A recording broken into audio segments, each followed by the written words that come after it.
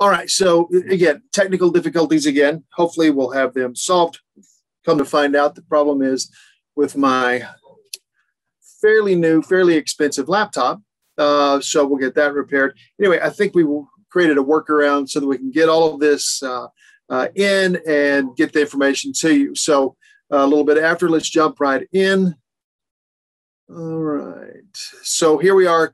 Uh, this is lecture number eight. This is the advanced shoulder. Um, in this, we're going to look at uh, quite a bit of, of content, and I hope I can keep this at the proper time frame. Um, anytime dealing with the shoulder, obviously, there's other areas that we have to take into consideration. We're going to look at the anterior torso. Again, pec major, minor, subclavius. Um, I include rectus abdominis and the transverse, internal, external obliques. Uh, our core control is necessary for any of our, our, our arm and shoulder movements. Uh, we'll jump into the CT junction here, latissimus, serratus, trapezius, levator, rhomboids, serratus posterior, superior. Uh, you, so as, as you look at anterior and the CT junction, obviously that's the scapular component. Hard to get any result out of that shoulder if you're not looking at uh, scapular control.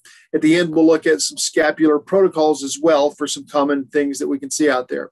And then we'll jump into the shoulder itself, both the muscle of the deltoid and then uh, the rotator cuff muscles, uh, supra, infra, teres minor and major, and then subscap. Uh, we'll go further and look at the upper arm. Obviously, the muscles of the upper arm are going to have an impact on how the shoulder moves and behaves. Uh, issues with the muscles of the upper arm because of their uh, attachment into the shoulder can create issues that we have to take care of. Uh, here, coraco, uh, biceps, uh, brachialis, triceps, and then brachioradialis.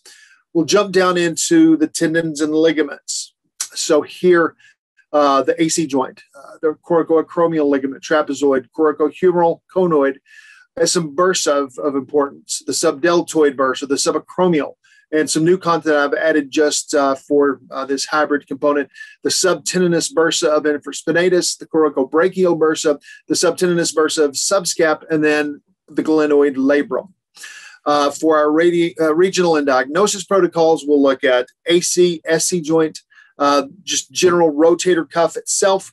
Uh, we'll look specifically at uh, the tendonitis, tendinosis that we get with the rotator cuff. Uh, we'll look at bicipital ten- tendonitis, both origin and insertion. we'll look at the subdeltoid subacromial bursitis, or more commonly termed impingement. we'll look at that intertubercular tenosynovitis. Then on for our scapular pieces, we'll look at the sick scapular or our scapular dyskinesis. We'll look at snapping scapula and we'll look at the winged scapula. Then finally, we'll take a look at our perineural protocols. And here we're just going to deal with one, and it's going to be the supraclavicular nerves. Uh, a little bit of some supporting evidence study here by Halley. Uh, their purpose uh, to determine if the addition of upper quarter dry needling to a rehab protocol if it's more efficient, more effective in improving range of motion, pain, and so forth. Uh, their study, uh, they showed that the significant difference in flexion at the six month follow up may be explained by additional time spent receiving passive range of motion in the control group. So their control group um, did not receive dry needling, but instead of that same time frame, they received more range of motion. Well, unfortunately, that kind of skews the study in and of itself. Uh, they didn't show any difference, significant difference, uh, but they had different treatment protocols. So, uh, while interesting to see, um, uh, it did provide uh, what it did do is some that some evidence that dry needling in a post-surgical population is safe and without significant risk of iatrogenic infection or other adverse events.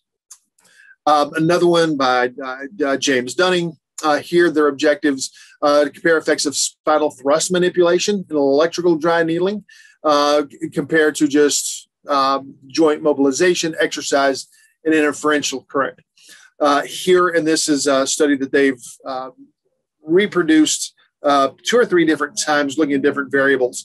Uh, each time they do find that including upper rib thrust manipulation uh, along with electrical dry needling or dry needling with electrical stim attached uh, did result in greater reductions in pain disability and medication intake than the non-thrust. Uh, so while it's a great to look at the combination of HVLAT and dry needling, it doesn't give us a great idea about uh, one or the other individually. Uh, there are some people that uh, need and can benefit from both.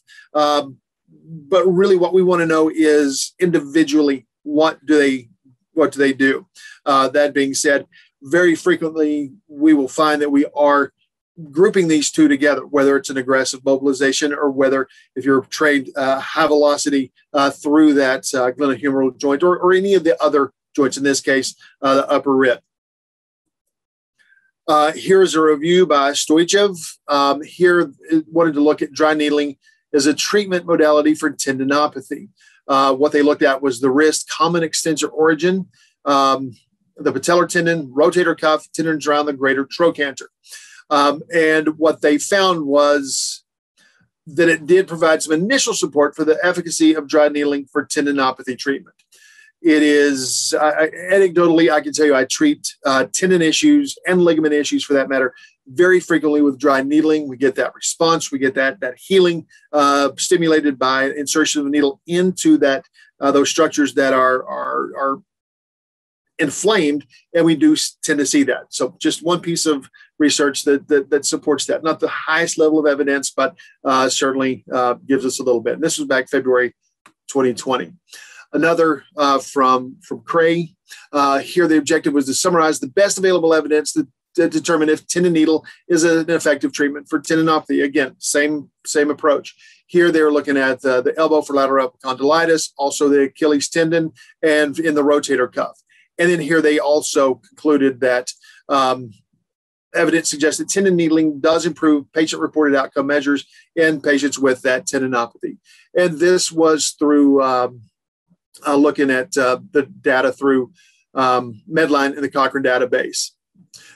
Uh, so, and, and, again, it was a systematic review. So, some high level there.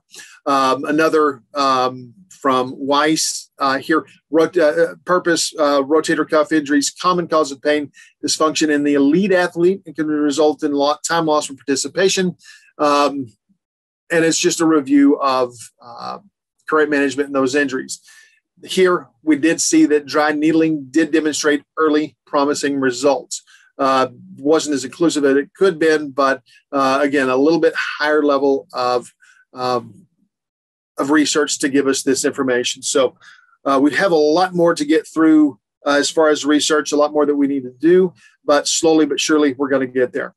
Um, so we want to jump to our, our 3D kinetic screen or our 3KS for the cervical, thoracic, lumbar, and shoulder. Now, I, did, I need to take update this and the video. Video is updated.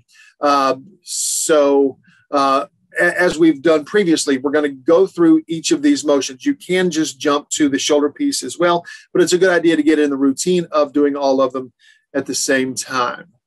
So I'm going to attempt now.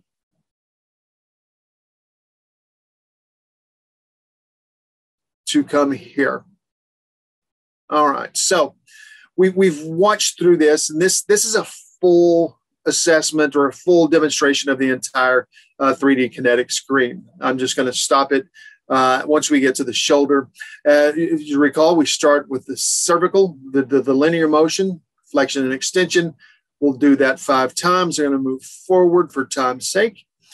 Then we'll do our diagonal rotation of looking down at the armpit, looking back over the right shoulder.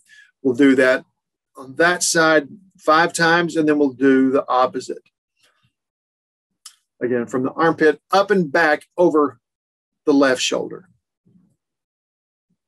Obviously, cervical range of motion, cervical pathology can frequently have an issue when it comes to uh, problems related to the shoulder. So, assessing cervical range of motion, very important. Likewise, trunk rotation can have an impact. If you see a disparity of movement, an asymmetry, uh, rotating left versus right, uh, it can be a, uh, an indicator of some potential involvement as far as a movement system of the involved shoulder. In this case, you can tell rotating to her left is not as complete as rotating to the right. It's not terrible, but there's a there are times where it's uh, a little diminished. So we'll do the trunk uh, five times. We'll do the lumbar linear motion. Never hurts to do that for a shoulder issue just to get a full sense. Uh, for the sake of time, let her go through that and go through her lumbar diagonal. And on the other side. And we also have, and we'll get to this when we get to the hip, um, a figure four sitting for purpose of the shoulder. I'm not too concerned about that. Uh, the, the figure four sitting is just a one repetition per side.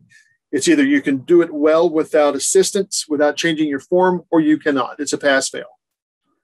And so here we'll take a look at our shoulder specific pieces. So we want to look at our shoulder posterior um, internal rotation. And what we want to do is we want to find out what is our height. Uh, how, how high can we get back there? We want to compare one side versus the other. And obviously you can tell I marked uh, her right. Her left is definitely a little bit higher than the right. So that's the asymmetry that we're looking for. Okay, and that's just one time. Then we'll look at the posterior external rotation. So I'm going to mark uh, the location of how far she can reach down on the right. And then we'll duplicate it there on the left. Again, just looking for asymmetry. And so that one is actually about the same. So, so nothing terrible that we see there. All right, so let's move from there and let's come back.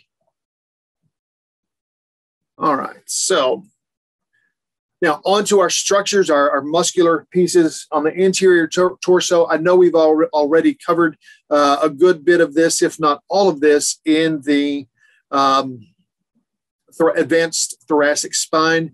Uh, we might just cover them briefly. Uh, I will end up taking another look at um, uh, our, our three dimensional anatomy uh, just, just as a review.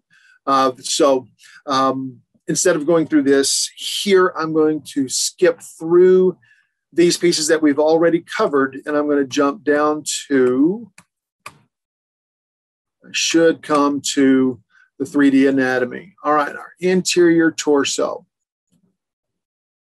So let's go to that program. All right, interior torso.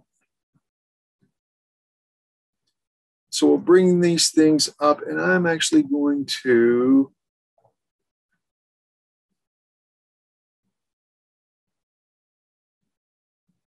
cut me out of that so we can see everything. So on the anterior torso, uh, here obviously uh, pectoralis major, pectoralis minor sitting behind because it does have the attachment onto, so pec major attaches onto the humerus, pec minor onto the coracoid. Uh, they are going to have some influence over uh, the movement of the, uh, the, of the humerus and the movement stabilization of the scapula. Um, I mentioned a little bit earlier, we'll, we're including um, rectus abdominis, transversus abdominis, internal, external oblique. Uh, quite honestly, not because it has a direct relationship to shoulder movement, but stabilizing the trunk is necessary in order to get the movements that we're looking for uh, with with movement of that shoulder. If we don't have that good good postural, good trunk control, go to go to elevate the the arm, we are going to see some shifts, some changes. Uh, so always a good idea to evaluate that piece as well. Um, here on the right side of our um, model, we can also see uh, subclavius um, coming off of the first rib over to the clavicle. Drop that down a little bit.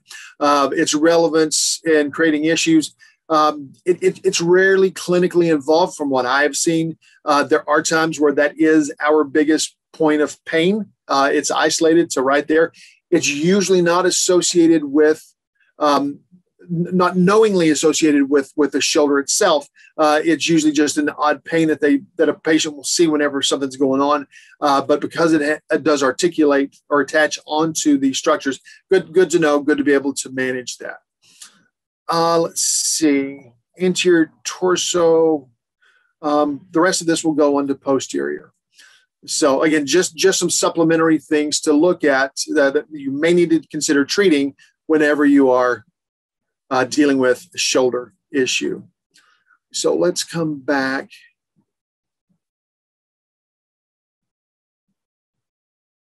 Uh, oh, it was the wrong one. I'll get myself coordinated momentarily. All right, let's move from there.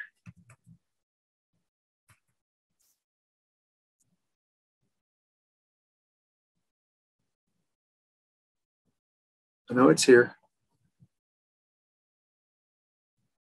Let's try it there.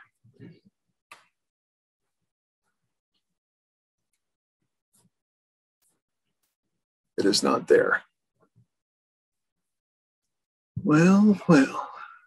Ah, there we are. Okay. So for treatment, pec major, again, I'm not going to spend tons of time here because we've already covered this, but just as a review, uh, for, for treatment of pec major, uh, we're going to grasp that muscle out on the lateral aspect, uh, usually in the supine uh, position, and, and needle through it there closer to the axilla. Um, let's see if we can do this. I will, I don't need a pole.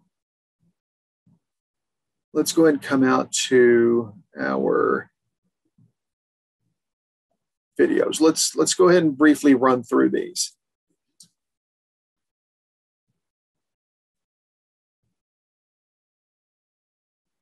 All right. Major.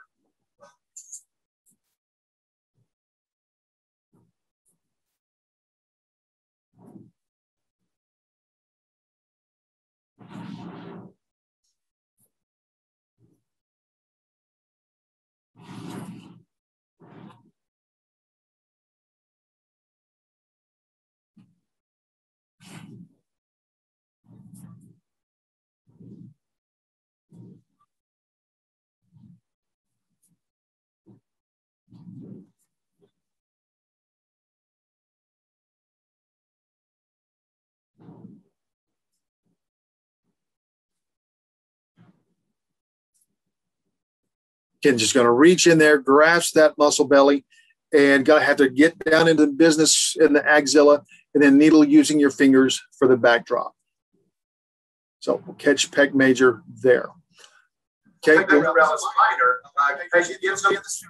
So instead of going through the, the description here, I'm going to fast forward down to the actual needling part. We've already done um, this. So pec minor, we've got a couple of Actually, technically, there's three ways that we can do this. Uh, you can do it off of the uh, the midline attachment on ribs three, four, and five. If the patient is thin and you can identify that, and ideally, if there's no breast tissue uh, of concern. Uh, more often, we're going to do it either getting deep into that axilla to, to approximate that pec minor and then needle across it from upper uh, superior to inferior and lateral. Um, and then lastly, it can be needled off the medial aspect of the coracoid process where the pec minor comes to attach right there. So let's look at those. So here we're going to dig deep into that axilla. You have to go a significant amount further than with pec major. And then you're going to go from superior medial, thread across that, that muscle as it's attaching to the tendon to inferior lateral. Likewise, you can come in onto the coracoid process, and we're just going to drop off the medial aspect there of that coracoid. Um, the, the, the, the, muscle itself lines right here and attaches to that medial aspect. So just drop anterior to posterior for that. Okay, for subclavius, let's move on. So with subclavius, given its location, uh, we are going to basically use a budding technique. So we're going to needle onto um, the clavicle right here. We're going to drop inferiorly just a little bit so that we can needle in a superior angle to still land on the, the clavicle itself. A big caution here for the lung field, obviously. So if you go more than a centimeter through the skin, centimeter and a half at most, uh, you know that you've missed your target. I would rather I would rather miss my target here than to go too inferior to that clavicle and result in the, in, in the um, lung field. So we'll find a midpoint. I'm going to splay the fingers. We're going to needle a little bit superiorly here onto the clavicle. And then we can shift a little bit inferiorly, just a redirection to that undersurface of the clavicle. So we'll look at rectus abdominis, a uh, couple of locations we can needle rectus abdominis uh, in the superior aspect. So here is our um, chondral junction. Uh, the rectus uh, does come up and attaches here. So we can always catch this right here. On the rectus abdominis, it's important to note that there is a there is a firm yet non-solid backdrop Uh, so when needling that, be very cautious of your needle depth. You should feel a soft barrier as you're dropping the needle there. Um, after a depending again depending on patient habitus, maybe centimeter, centimeter and a half would be our my my deepest uh, depth on that, uh, and then we'll also do it a further inferiorly. So again, palpating xiphoid process, going to drop down, finger breadth, two finger breadths lateral, and we're going to take this and sort of a, a fairly oblique angle. Um, so we're looking down inferiorly, coming above uh, the umbilicus. Again, here you can see that oblique nature of that uh, insertion quite well. Needle is being a little stubborn, trying to go in. Uh, again, in this situation, be aware of the depth of your needle. Uh, again, there is that soft backdrop to it, but you don't want to go through that into the abdominal content. And then we move into the uh, the transverse abdominis, external obliques, internal obliques. And here we take that in a sideline position so that we can effectively needle into that. So in this position, as you can tell, this is a fairly uh, thin subject. I've had to place a towel roll underneath the mat side um, in her waist so that we can elevate and separate that rib cage from the iliac uh, crest. Um, so uh, our needle location will, will be just threading through those three muscles right there. Palpate for the distance, that space in between, just using um, a grip to get through. You don't want to be too far to, toward the mat uh, so that you don't end up through the um, into the stomach contents. Uh, but that is a great way to get uh, some needling there. All right, so I'm going to jump out of that. I'm going to come back to our presentation here, if I can locate it.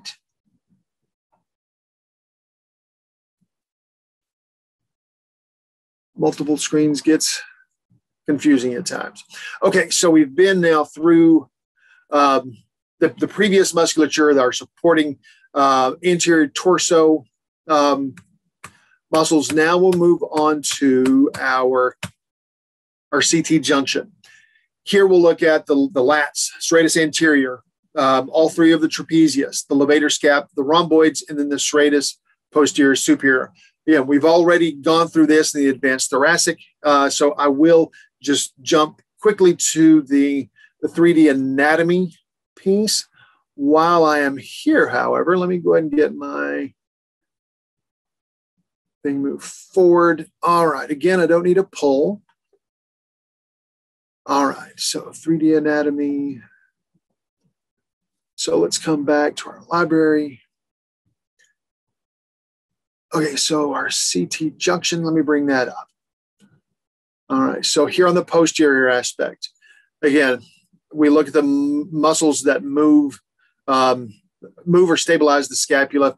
Uh, the trapezius, obviously, uh, all three pieces of the trapezius have an insertion onto this uh, under the scapula. So obviously a big mover. They also move the upper trap onto uh, the the lateral third to half of the clavicles. So obviously can have big impact on how uh, that moves. Likewise, the latissimus, big player in the movement of the shoulder, especially in that that downward stroking, that flexing uh, movement that we can do.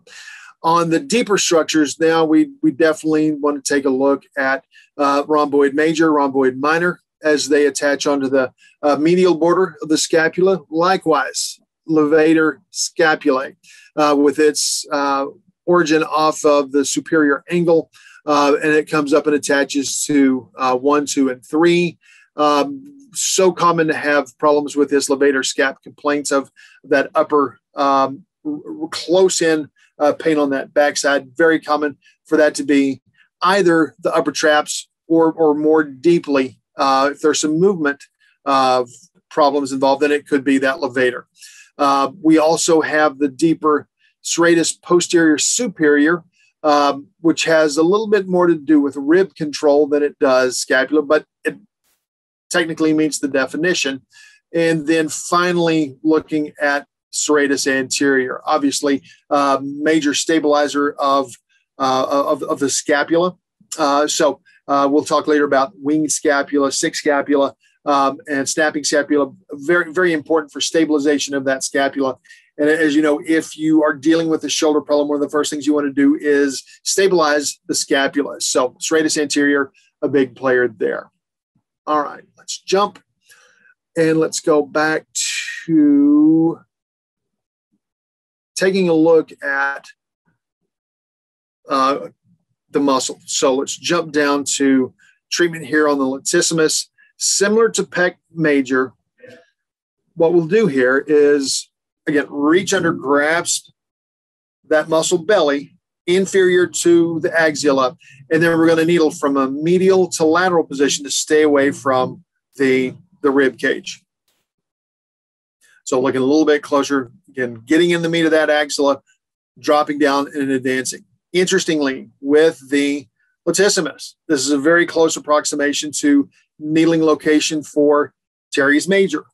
It's also posterior deltoid can be closely, um, really, really close here. If we, this one's probably a little too inferior for posterior delt, but um, very commonly when we stimulate that needle for lat, we do see that we get some other muscles involved.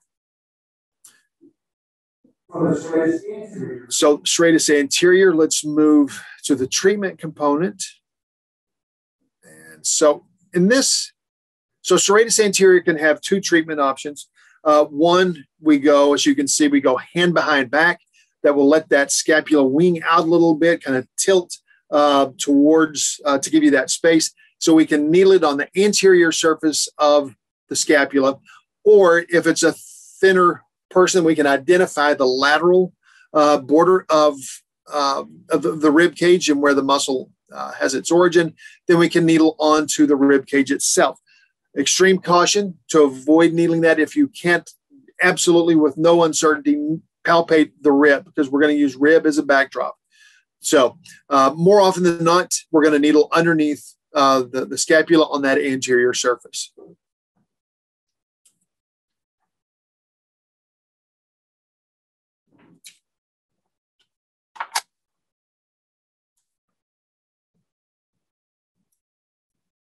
And interestingly, this is also the preferred method of needling subscapularis. So frequently we find we have muscles with, um, we get a twofer. We get two muscles with one single needle stick. That's definitely uh, a nice one so that you don't have to do that twice. Here is this lateral approach. So as you can tell, my fingers are uh, splaying along the path of the rib as it's coming around, and then I can needle, and it's almost um, in the in the midline of of the body. Uh, if we looked in that plane, uh, that would let us identify that. Again, if you're not able to palpate uh, the borders of the rib to definitely bracket those, then don't try needling there. Okay, and you can see I landed on rib. For upper trap, I think I catch all the traps here. So just midway between uh, the neck the lateral aspect, we're going to find that spot. There's usually one area that's got a little bit more bulk, a little bit more muscle tension. My fingers are on the anterior aspect so that I can approximate the fingers, know that I get through a lot of muscle tissue without coming through to the other side. Middle trapezius. Again, having covered that, we're going to come off spine of the scapula and then we're going to thread through middle trapezius right in that area.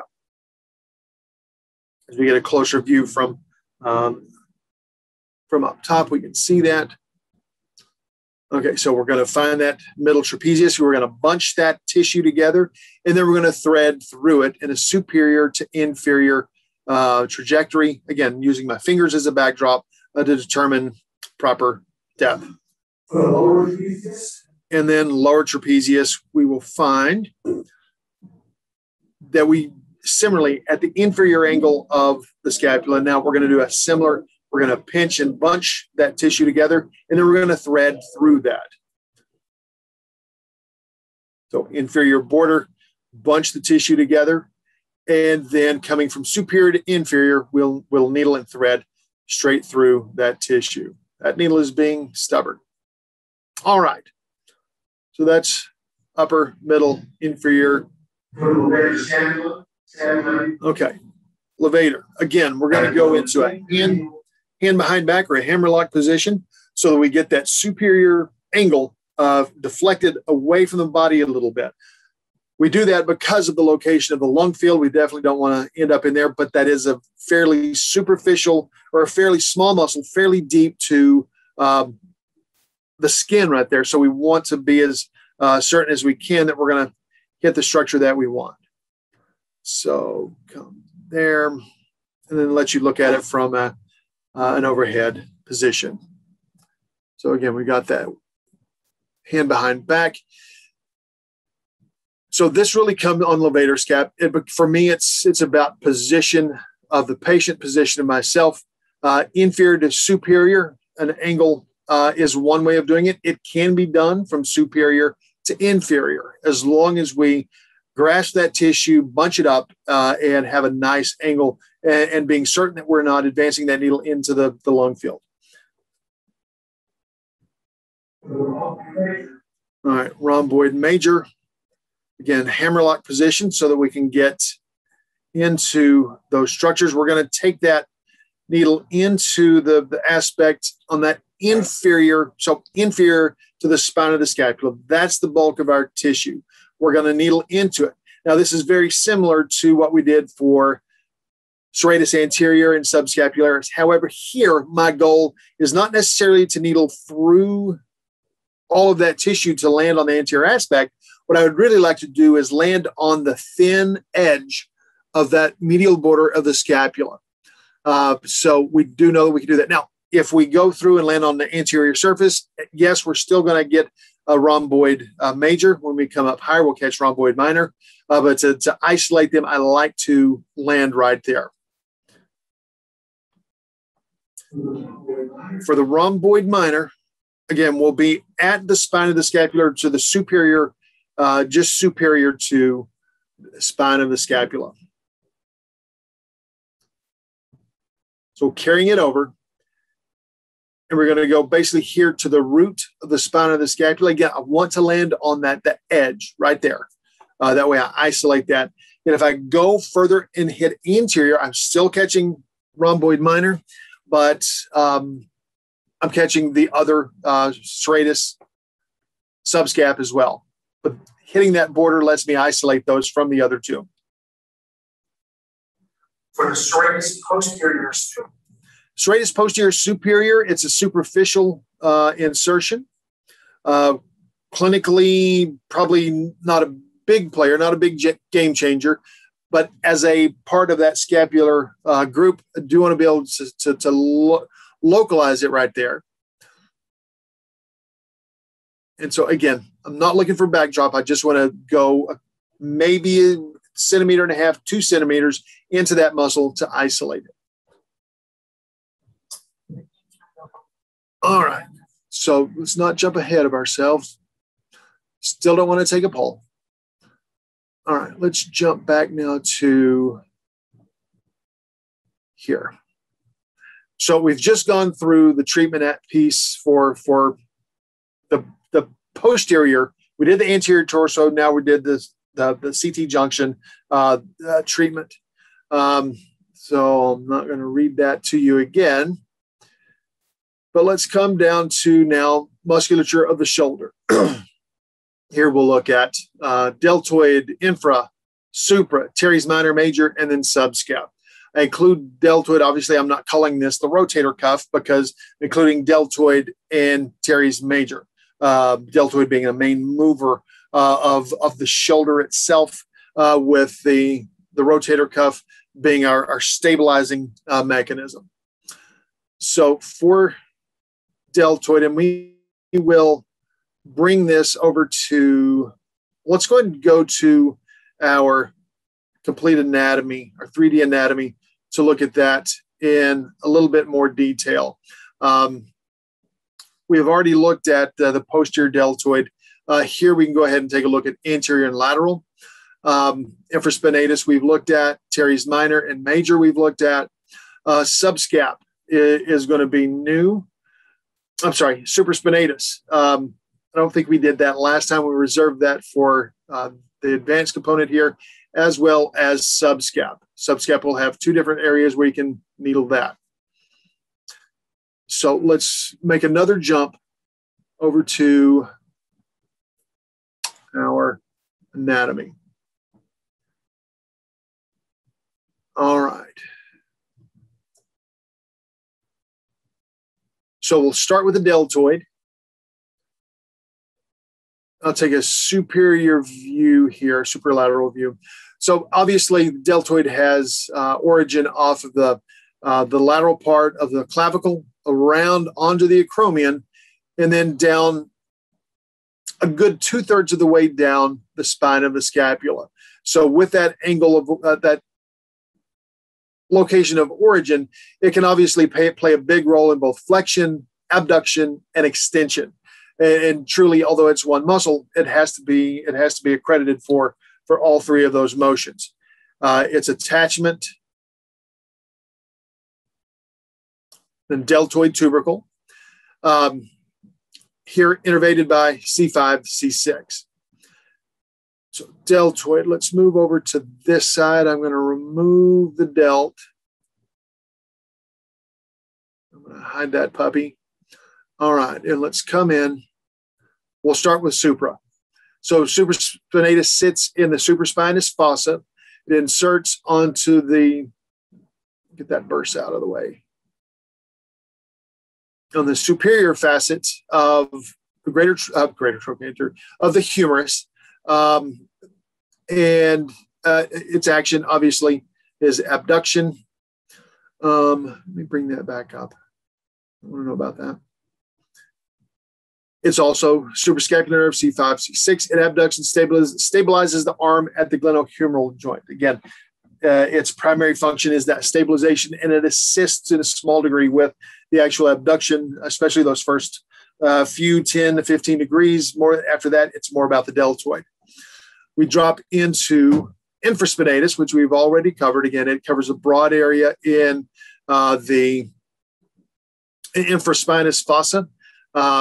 It attaches onto the medial or, or the middle facet uh, on on the humerus, and it's um, also suprascapular nerve uh, C5 C6. Uh, its its action it's laterally or externally rotates, transversely abducts, and mainly it stabilizes the arm at the glenohumeral joint.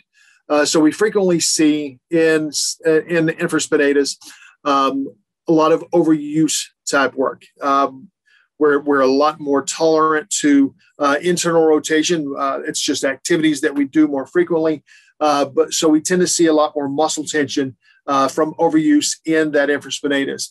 Obviously, supraspinatus is the, the muscle that if we're going to have a tear, more than likely that one is going to be involved, especially as is it uh, as it jams into the acromion uh, or if we're prone to having spurring at the AC joint. so um, Supra tends to be more injury prone, and then infra tends to respond or have bigger response to, to overuse.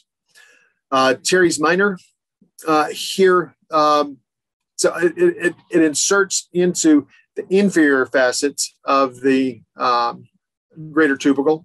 Uh, it laterally rotates, transversely abducts, and then stabilizes the arm. Then a humeral joint. Uh, every so often, you will find that teres minor is involved in a movement function, there's going to be uh, some severe tenderness in that muscle. Uh, more often than not, you're not going to see it injured, uh, but do need to know that it could be involved so that we needle that if necessary. Then further down, teres major on the inferior half uh, or inferior third of the of the scapula, um, and it's um, inserts into the crest of the lesser tubercle um, as it comes around more anteriorly. So obviously, it has um, function for adduction, uh, medially rotation at the glenohumeral joint. Again, adduction is probably uh, its bigger function. Uh, because it's not on up higher, it doesn't really serve a role as far as stabilization. And finally, let's look anteriorly at subscap. So we look and we see um, its origin is on the subscapular fossa of the scapula there on that anterior surface, and it inserts into the lesser tubercle of the humerus. So any of that anterior uh, compartment stuff, subscap probably has some sort of a role into it. Uh, its innervation is the upper and lower subscapular nerves, C5, C6, C7, um, and its action medially rotating and stabilizing the arm at the glenohumeral joint. So that one definitely does play a role in stabilization. Um, as far ab, and abduction, and abduction. So as far as the muscles of the shoulder, those are big players. So let's come back to where we sit here. So for our treatment, again, a lot of this we've already covered, uh, but we'll, as we get to the video, we will cover that in a little bit more detail. Um, lateral deltoid, anterior deltoid. Um, I, I, don't know as I mentioned it last time. We do want to be cautious. Cephalic vein runs between anterior fibers of deltoid and, and pec major. So be cautious of that. Um, uh, hit that. Odds are you'll end up with a nice little bruise that you'll have to explain to your patient. Um, so deltoid. Let's let's go ahead and jump straight to the treatment videos here.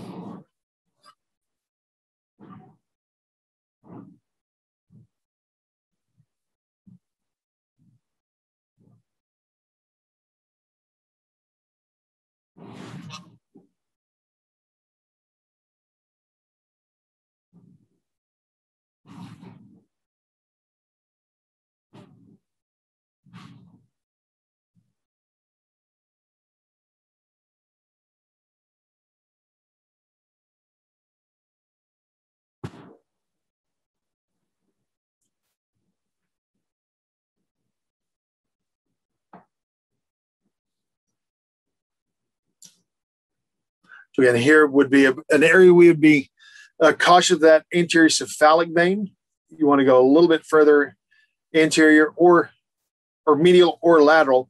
And you can take, again, you can take that direct approach in using uh, the humerus as a backdrop, which we did there, or you can take that threading approach. You get a little bit more superficial. Uh, and depending on how the patient responds, I may do a direct approach one time. And if I don't get the response that I'm looking for, uh, I will take a threading approach. With the threading approach, I'm going to get more surface area with the needle into the um, into that muscle itself. So that may be a better choice depending on the patient response. Again, we'll look at here the, the lateral delt. Again, we can do a direct approach down to the humerus, or I can thread all the way through the muscle and get a little bit more um, surface area. Here, we're going to thread all the way through. That's going to give me my most amount of surface area into that tissue. On the direct, I can have a better approach to a specific focus of discomfort, but I'm not going to have as much surface area. So clinically, we just have to decide. And then taking a look at the posterior delt, again, we can take a threading view, which I'm doing here, just thread all the way through uh, the tissue of the, the posterior delt or we can take that direct approach. And then down to the humerus as a backdrop. All right. Okay, so for supraspinatus, because it sits in the supraspinous fossa, what we want to make certain of is that we don't end up with that needle going anterior to the, the anterior border of the scapula and, and ultimately end up in the rib cage. So as as you start needling the supraspinatus, I'm going to demonstrate to needle from superior to inferior onto the spine of the scapula. Once you hit the spine of the scapula, you're going to retract the needle slightly. You're going to use your, your fingers. You're going to roll the skin superiorly and anteriorly so that that needle drops off of the spine of the scapula, and then you're going to direct that needle from a cranial aspect to a caudal aspect, almost with a posterior angulation. That guarantees that you don't land into the lung field. So I'm going to come in, I'm going to needle, I'm going to peck onto the spine of the scapula. I'm going to redirect and advance it posteriorly. From a bird's eye view, again, I'm going to locate spine of the scapula. I'm going to needle on, and I'm going to retract the skin. I'm going to needle down to the spine of the scapula. I'm going to release that skin, pushing it forward. Now I can needle superior, anterior to inferior, posterior. Guarantees we stay out of the lung field. All right, infraspinatus.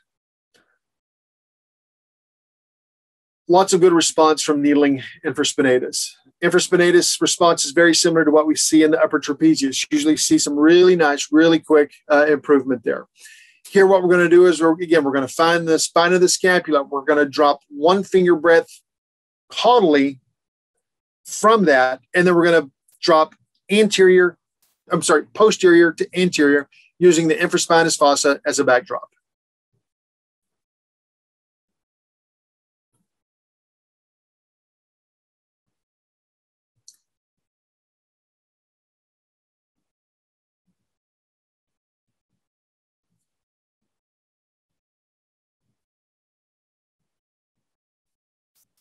Like such. So I can't mark it on here, but we're, we're aware. So spine of the scapula comes here. Uh, the, the scapula drops um, towards the line about right here, inferior border as it comes back up. So all of this area is infraspinatus. We're taking a direct approach with our treatment here, and I'd recommend for a good bit of time, spend that time um, needling exactly like this, a direct approach. However, whenever we get to our lab, I will show and demonstrate how you can thread uh, the infraspinatus again, get a little bit more surface area as you treat that, that muscle uh, that, that seems to be so responsive uh, to treatment. But we'll look at that in the lab for now. Uh, just this simple one finger breath below the spine of the scapula, dropping it anterior, posterior to anterior to get our, our desired benefit.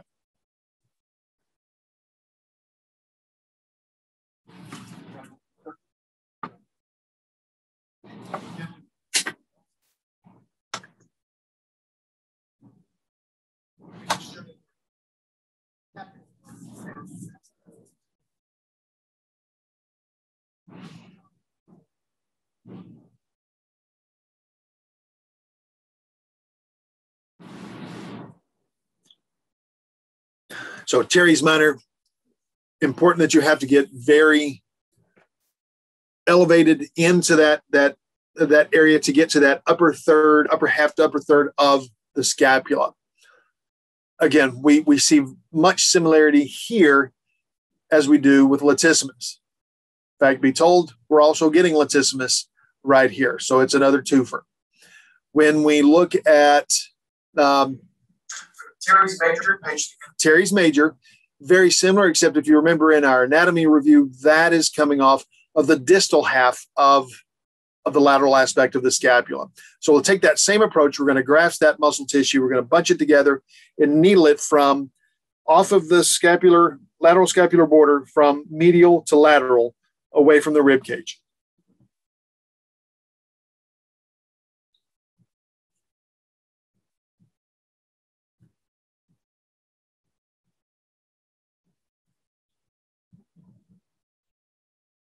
And again, we will catch latissimus here. Nothing wrong with that at all. And then slightly away from midline.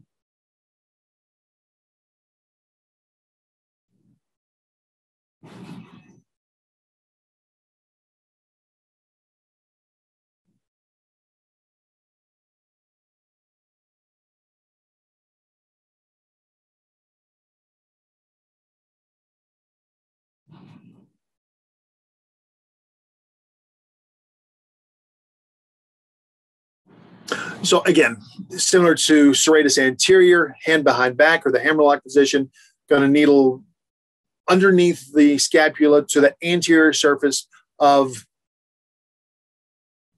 of the of the scapula.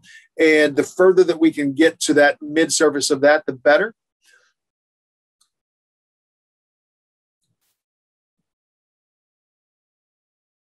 Coming out right there into that location. All right. So when we go into the supine position, as as we were discussing, uh, subscap comes around and, and and and attaches onto or inserts onto the lesser tubercle. And so as we if we elevate and extend, uh, that's going to provide a nice location for it on the anterior aspect.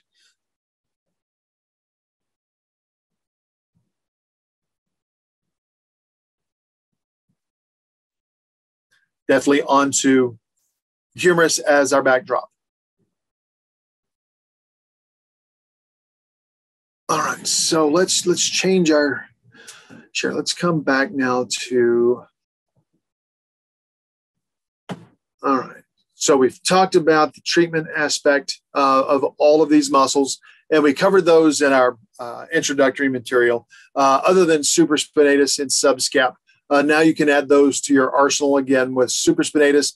Cautious of not directing that needle anteriorly so you end up in the lung field, uh, but use that technique of, of needling onto the spine of the scapula, rolling the skin forward uh, to come superior to inferior with a posterior angulation.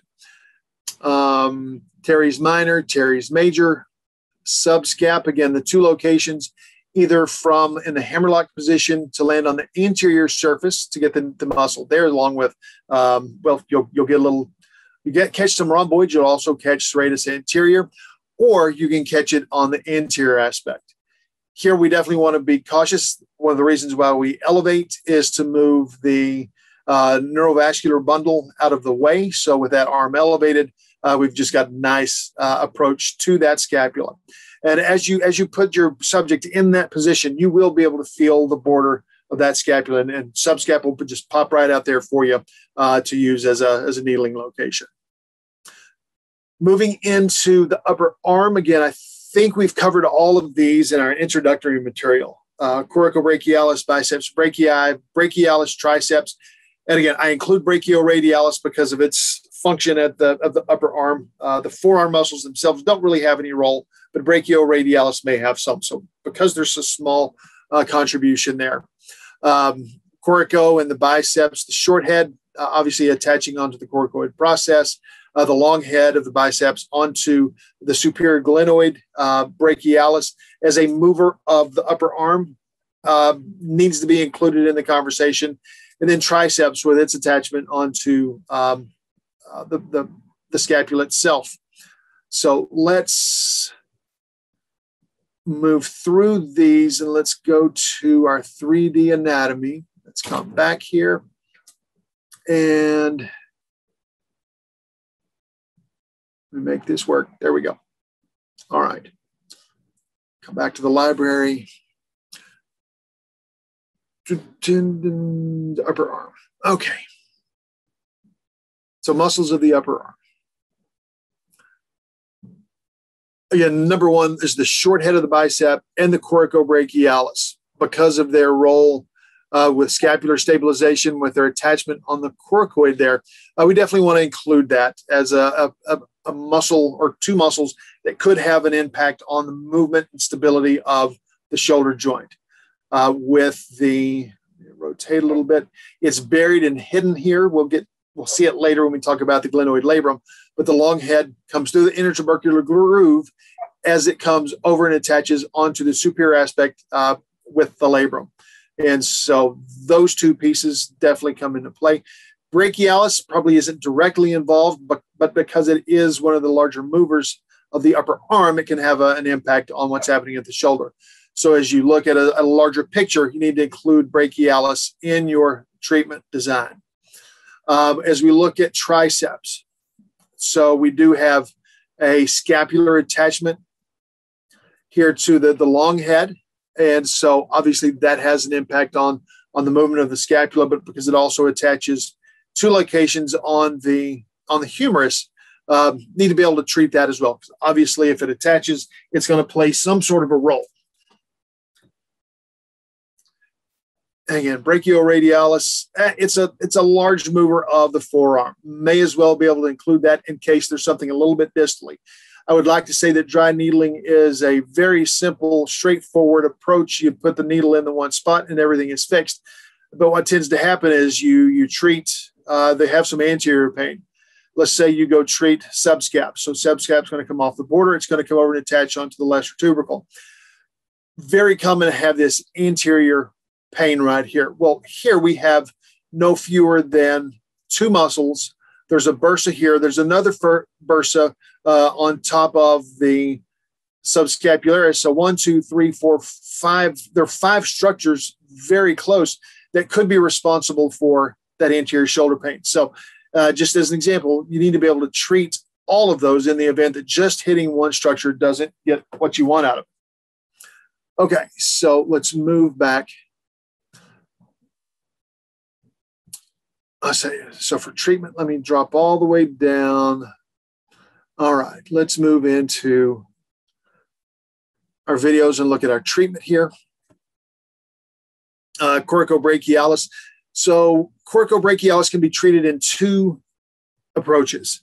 Um, what I teach in the introductory course, um, I'm going to take from the lateral aspect. I take this lateral approach uh, because it stays away from the neurovascular bundle uh, up around the coracoid. Uh, this is a nice way to treat it. It is safe. Basically, we're going to find deltoid tubercle and we're going to needle just slightly anterior to that deltoid tubercle. Uh, that lets us get into the muscle belly of the coracobrachialis as it is starting to insert into the humerus. The second approach is off of the coracoid process itself uh, probably one finger breadth distal, maybe one one half to one finger breadth lateral, and we'll drop that needle anterior to posterior. So here we look at the lateral approach. So I'm going to going to guide that needle in. I'm going to go just anterior to the humerus to land into the coracobrachialis. Obviously, I'm needling through other tissues as I do this proximity to the deltoid tubercle means I'm, I'm getting a little delt in there as well. Right there. And then the other is the, the anterior approach. So we're going to hit that coracoid. We're going to drop one finger breath distally and about a half to one finger breath laterally, anterior to posterior, slightly, okay, slightly superior to avoid that neurovascular bundle. And that's that's probably the that's probably the most effective way of treating coracobrachialis. Always want people to start treating it from the lateral aspect first, just to get comfortable with the technique. As you start exploring around the coraco, coracoid process itself, then definitely, yes, you can start needling off of that. So again, bicep short head, coracobrachialis off the lateral aspect of, of the coracoid process, and then pec minor off of that medial aspect. So biceps, So I'm going to to again, we did this in the introductory material. I start with a threading procedure through the biceps itself, and I do this to differentiate biceps brachii from brachialis. Um, so this method is going to show just needling from lateral to medial. When we're finished with that, then I'll tell you a more common approach. So we make sure that we're in that muscle belly, go lateral to medial, in, into that muscle belly itself. So, probably more skin uh, contact, more surface area with this approach. That being said, just as common to see treatment from the anterior approach. So, again, we're taking a midpoint between the elbow and the shoulder.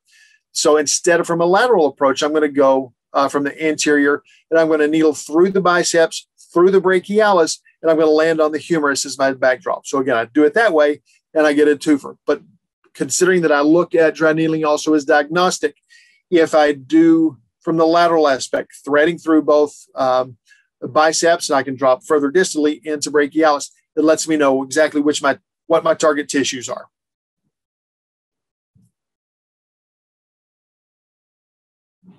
again, brachialis, we're simply going to find the muscle bulk of the bicep, and then we're going to drop posteriorly off of that ropey structure that's right below it, and that's brachialis.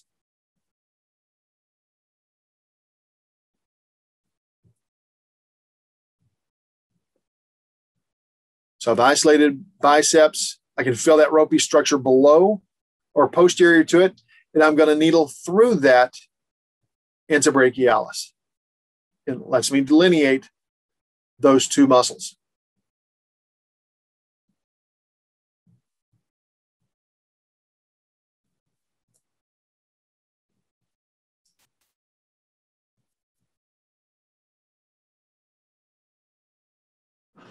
So for triceps, I'm, I'm utilizing one needle placement to affect a result on all three heads of the triceps. Uh, so I'm going to do it further distally, uh, closer to the elbow, uh, and we'll do a threading technique again.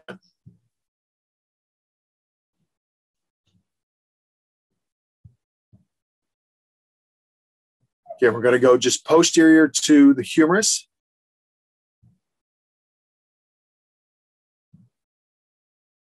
Isolate that, that muscle belly, and th- thread through all three of the heads.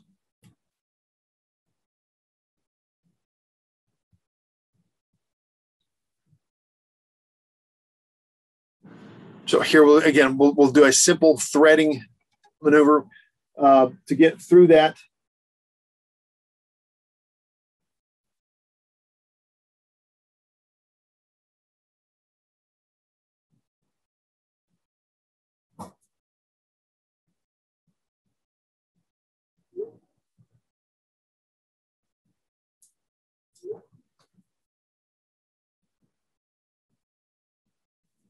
So here we see we can do two approaches. We can thread through it, or we can do a direct approach all the way through. All right. I'm going to pause there because we're going to move into the ligamentous structures now. So here we're going to look at um, the AC joint ligament, coracoacromial ligament, trapezoid, coracohumeral, conoid, uh, muscles up around shoulder, uh, then we'll look at the bursa, the subdeltoid, subacromial, those for impingement, and then the subtendinous bursa of infraspinatus and subscap, the coracobrachial bursa, and then lastly, the glenoid labrum. So let's jump into our complete anatomy again. All right. Let's bring that library up to our tendons and ligaments. So lots of tendons and ligaments to consider. Um, let's don't move that. Let's start with. Let me get rid of all of these labels here. Clear those out. Very good. All right. So what we'll start with, um, and I'm going to be honest, I don't remember if we cover the SC joint here as well. I know we did in the, the advanced thoracic, uh, but there's always the the anterior sternoclavicular ligament. We look further at, at, at assist in uh, connecting clavicle to uh, the manubrium. Uh, laterally, we'll look at the AC joint. Uh, so we, we definitely have the ligament itself, but I hide that. And then we see further into that, then we have the articular disc of the AC joint. And so when we needle into that, we're going to want to make that as our target. So we come further. Let's let's continue exploring the ligaments of the, the shoulder here. So the first will be the coracoacromial ligament, uh, frequently dealing with uh, impingement, uh, rotator cuff interval problems. Uh, that that ligament uh, gets sacrificed uh, surgically um, just because if it's inflamed, it's going to occupy some space and they need all the space they can get. So that's the coracoacromial coming off of the coracoid, landing onto the underside of um, the acromion. We'll then move to the trapezoid ligament, again from the anterior medial surface of the uh, coracoid process, very close to where pec minor. Matter of fact, pec minor is going to attach inferior to, to first the trapezoid ligament, then second the conoid ligament that sits out here. Uh, trapezoid because it's got the two directional um, movement of fibers. Uh, and then let's move to move posteriorly to the conoid ligament. Again, it's going to come off of that medial surface of the coracoid process, landing a little bit more posteriorly uh, onto um, the clavicle. Again, all providing stability with the clavicle and the scapula. Superiorly, we have the coracohumeral ligament. And then anteriorly, these will be needled accidentally. We're not going to intentionally go after these, but as far as the anterior protection, they the stability they give the, uh, the joint, the superior glenohumeral joint, middle glenohumeral ligament, and the inferior glenohumeral ligament. So a lot of the, the ligamentous structures. So on the bursal piece, we also have um, when when we're evaluating shoulder problems, we're frequently going to find a pain in and dysfunction here in the infraspinatus. A lot of times we'll feel it out here. More commonly, or just as commonly, we feel it right at the at the angle or the anglet here of the acromion, right in that joint space, and that is the subtendinous bursa of infraspinatus. Okay, we'll move from there and we'll look at the subdeltoid subacromial bursa. Again, if we're dealing with impingement, uh, these are going to going to definitely play a role. Uh, it shows it here as isolated and separate uh, bursa. Most commonly, those are joined as a single. They have a communication between each other. We also want to take a look at the tenosynovium. We'll look at this later, uh, but the intertubercular tendon sheath. So with intertubercular tenosynovitis, um, that can become a problem.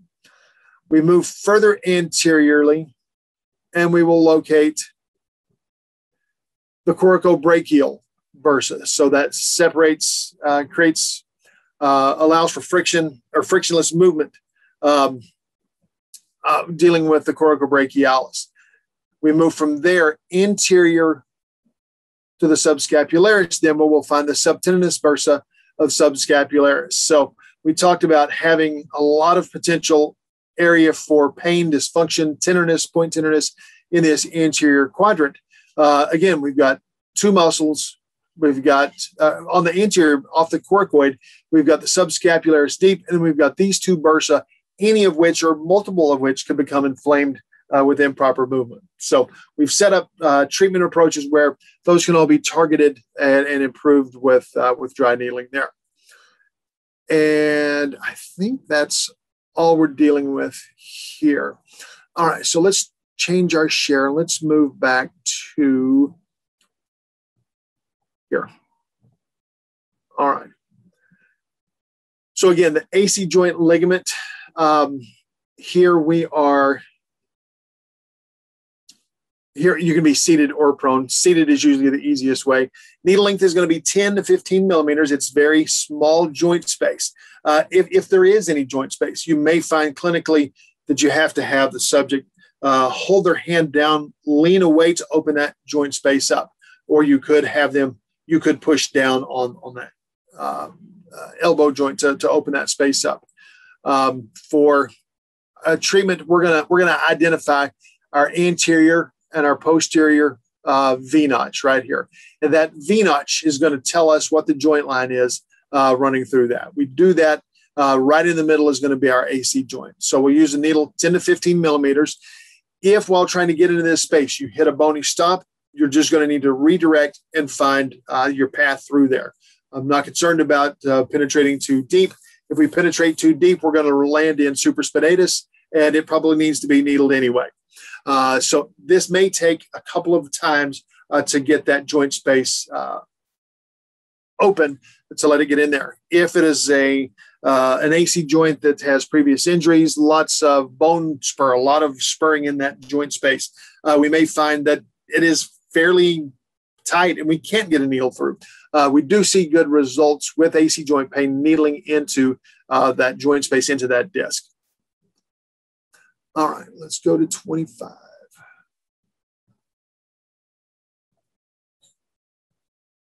All right, so I've already done the, the talking here. Let's, do I show, okay. Yes. All right, so I'm palpating, I'm, I'm locating that anterior posterior V notch. Following the clavicle out laterally. And where it attaches to the acromion, we'll get our anterior and our posterior uh, location. We are simply going to drop that needle into the joint line between that anterior and posterior V notch.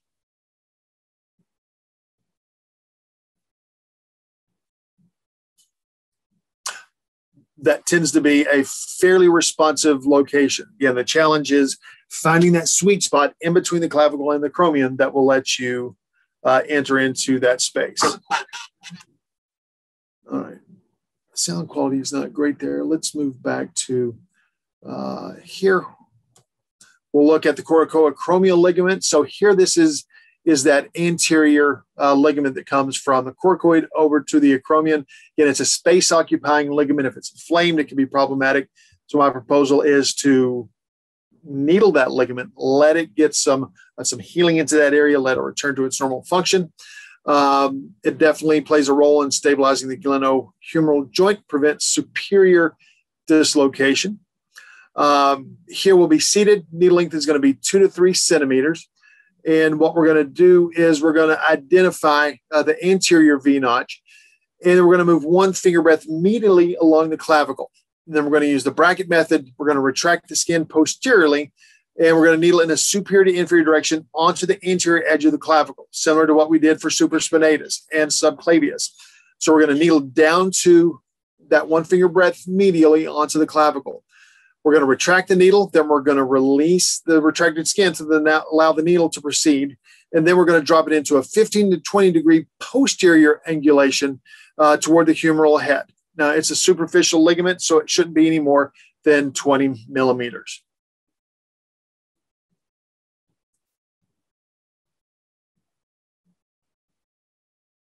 That's the wrong place.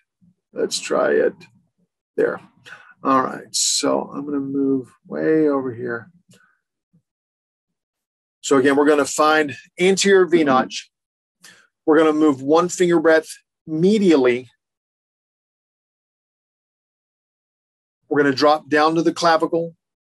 We're going to retract the skin, drop down the clavicle, and then we're going to let it release and then drop down with a posterior angulation into that ligament.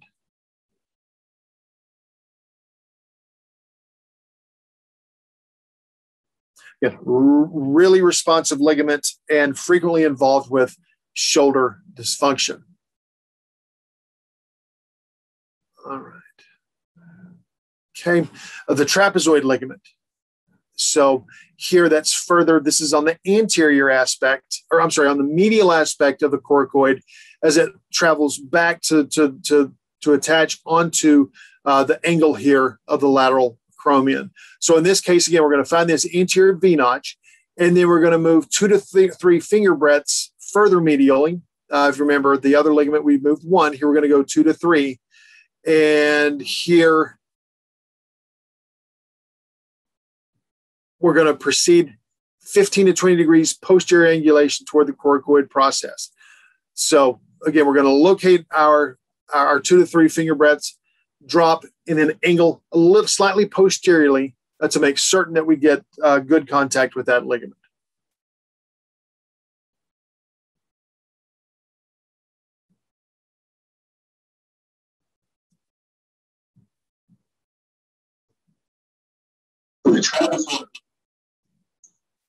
Okay, we're going to keep coming down. We just did that talking.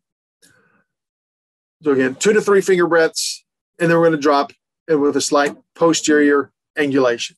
So we locate that V notch.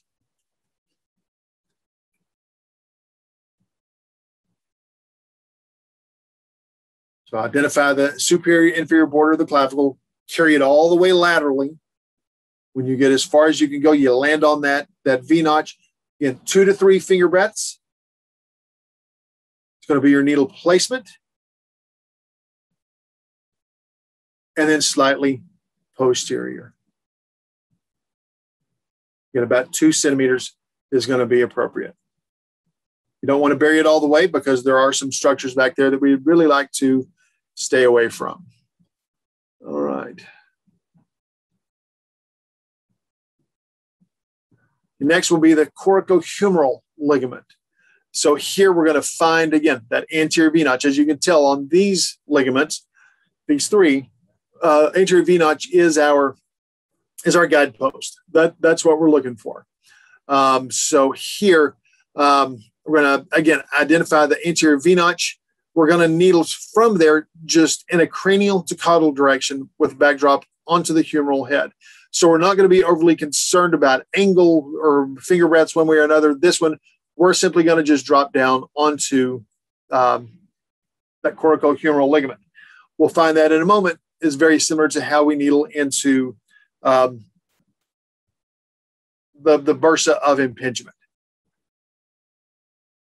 All right, so let's come back. All right. So again, we're going to come out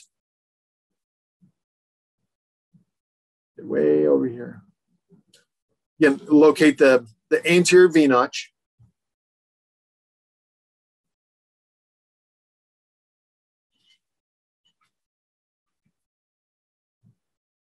And then from there, we're going to go completely superior to inferior to land on the glenohumeral ligament uh, coracohumeral ligament. All right, so.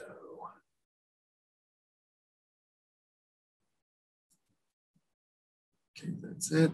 Conoid ligament, uh, going to be more anterior. Here we're going to use the posterior V notch.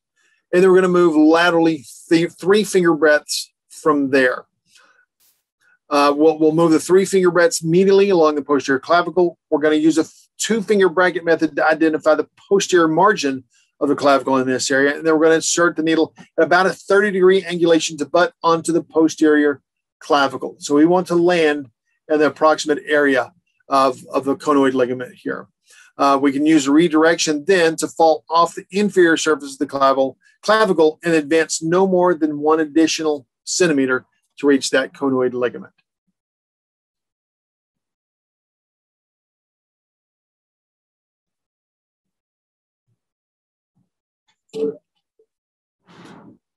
So you can see its its location. Uh, posterior V notch, we're going to move three finger breadths. And from there, so here we'll be in a seated position. So follow the clavicle out, find that posterior V notch. We're going to move those three finger breadths. About a 30 degree angulation. We're going to needle, land on the inferior surface of the clavicle, redirect into that, just no more than one more centimeter onto the conoid ligament. So needling of the, the ligaments, we looked at the research earlier. Um, needling of tendons uh, definitely shows some improvement. There's other research that indicates a similar response in tendon and ligaments. So if we can elicit a change in those structures uh, by needling them, um, then we can do some good benefit for our patient. All right. Now, muscles uh, are the structures of the bursa of impingement. Subdeltoid we'll look at first. Subacromial we'll look at second. Here you're going to be presented with uh, methodology to needle both of them individually. What I will then teach you in our later lab session when we get to that is how to needle them simultaneously at the same time. So here, the subdeltoid uh, bursa, what we're going to do, we're going to palpate the lateral acromial border then one finger breadth lateral, we're going to needle in a superior to inferior direction uh, to the humeral backdrop. Uh, we're going to retract the needle about a centimeter, and we're going to use a unidirectional rotation with a tenting manipulation to mobilize that bursa. So we're going to move, find that lateral border, um, palpate out about a, about a finger breadth, and then drop superior to inferior into that bursa, and then we can mobilize it. Haven't done that in a while. All right. Again, I've already done the talking. Let's do some sticking. Again, one finger breadth, lateral from that acromial border.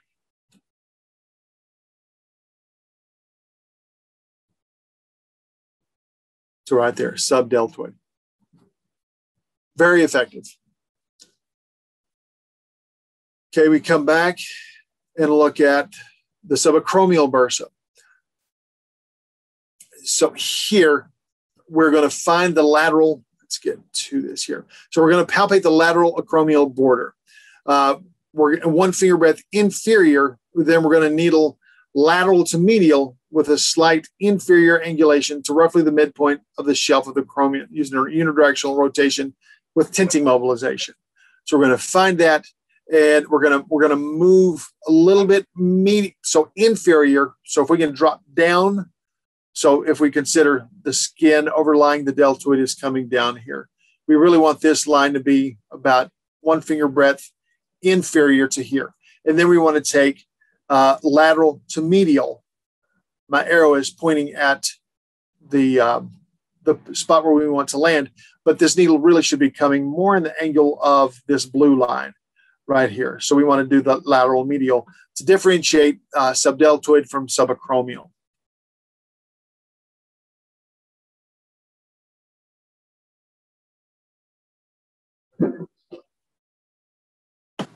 Okay, we'll get to it again. We're going to do this in the seated position.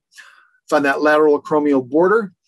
And again, drop one inferiorly. And here, you see, we're going to move lateral to medial to land in that subacromial space as I mentioned, when we get into the advanced lab, the three day lab, at the conclusion of the 16 lectures, I'll, I'll, demonstrate a way to needle both of them at the same time, basically needling from through the subacromial, then through, uh, sorry, through the sub, through the subdeltoid first, through the subacromial, and then into the supraspinatus itself. Uh, so we get we get the deltoid, we get the two bursa, and we get the supraspinatus all in one suite. So there we get a forfer. All right. So let's come back here. Then the subtendinous bursa of infraspinatus. Uh, again, this is that posterior uh, location that we feel. So we needled this. Uh, there's several things that we could be hitting. We definitely know we're going to hit infraspinatus in this area. We definitely know we're going to catch that posterior capsule. Uh, we very well may hit teres minor. We will hit subtendinous bursa and depending on our placement, we may even hit the glenoid labrum. So here, um, our, our, our procedure, we're going to palpate the acromial angle at the posterior border of the acromion. And we're going to move two finger breadths inferior from that point. And then we're going to needle posterior to anterior to land on the posterior joint capsule. And we will use a unidirectional rotation with a tenting manipulation. So that posterior angle right there the acromial angle. We'll drop the two finger breadths then posterior to anterior.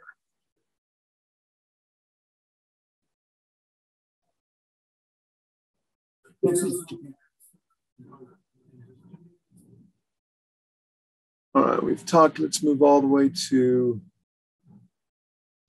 the doing.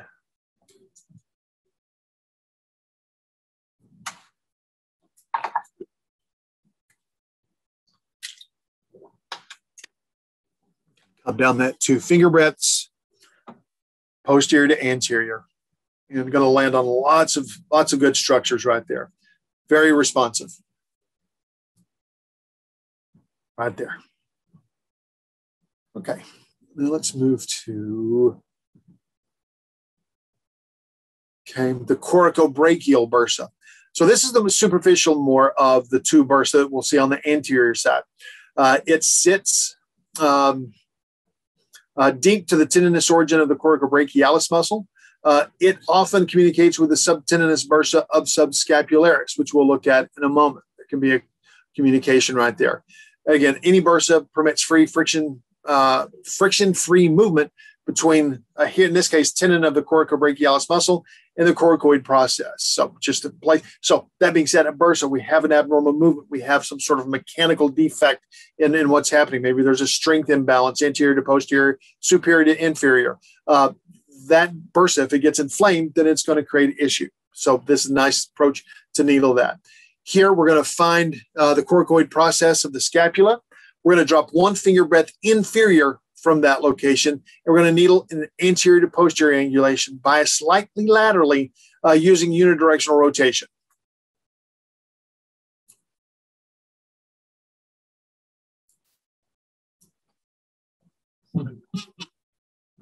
Uh, discussed, and there you can see it three dimensionally sitting right behind uh, the coracobrachialis there. Again, we're going to drop one finger breadth from the coracoid process and then anterior to posterior, slightly lateral.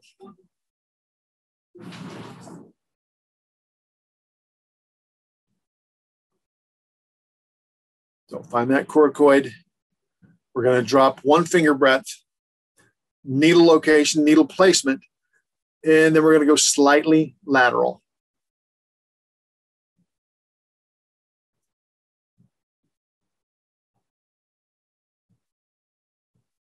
For the coracobrachial bursa. All right. Then to the subtendinous bursa of subscapularis. So this is the one that sits deeper, deeper, a little bit more inferior. And it's the one that allows uh, friction-free movement between the tendon of subscap and the coracoid process, as well as the scapular neck. Our procedure here from the coracoid process, we're going to um, drop two finger breadths inferior from that location. You're going to needle anterior to posterior, bias slightly medially. So with uh, coracobrachial bursa, it was one finger breadth below, anterior, posterior, slightly lateral. Here it's going to be two finger breadths below uh, uh, coracoid, and it's going to be slightly medial to make sure we land there. This one will also correlate very closely to the anterior glenoid labrum.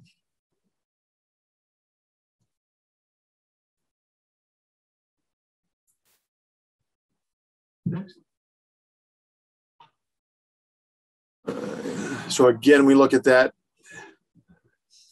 Again, two finger breadths distal from or caudal from the coracoid process with a slightly medial angulation.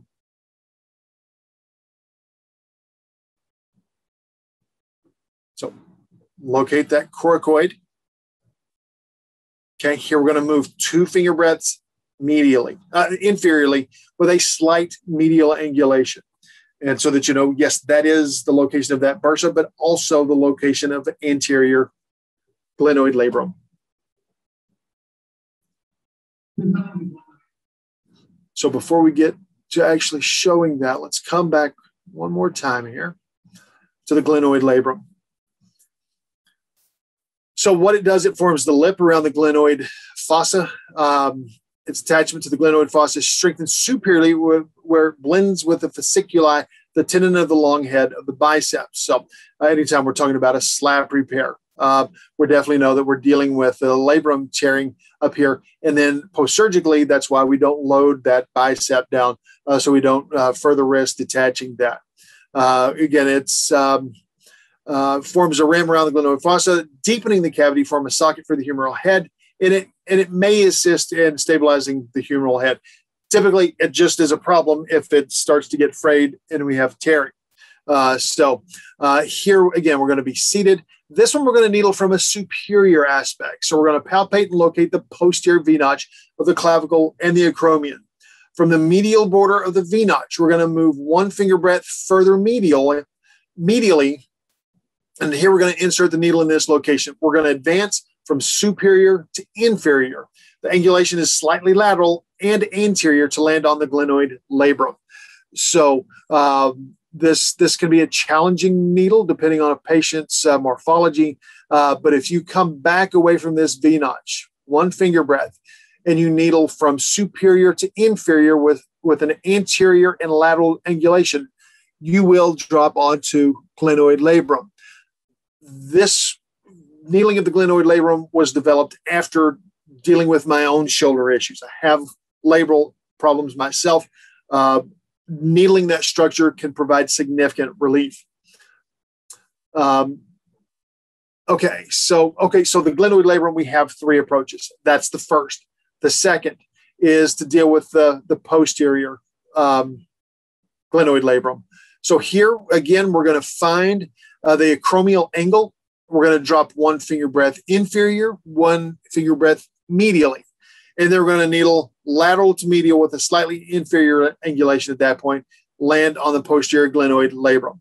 You may remember the subtendinous bursa of infraspinatus. You can see that uh, it's in a hidden mode, but this is going to land just anterior or just medially to where we needled for that. So that we would have dropped uh, one to two finger breadths to needle here. For the posterior labrum, we're going to drop one and then go medially one and needle anterior to posterior, slightly medial. And then for the anterior, so here, uh, again, we're going to palpate coracoid process of the scapula. We're going to drop one finger breadth inferior from that location, needle uh, anterior to uh, anterior posterior bias slightly laterally to land on the glenoid labrum. So again, we, we saw this when we were needling uh, coracobrachial bursa. Same needle placement and location. All right, let's look at those together.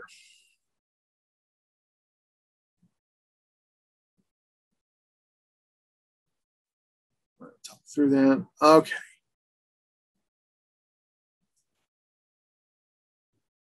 So we're going to start with the superior. Again, posterior V notch, one finger breadth, um, medially, and, and needle superior to inferior, laterally and anteriorly. Anterior to land on the glenoid labrum or unidirectional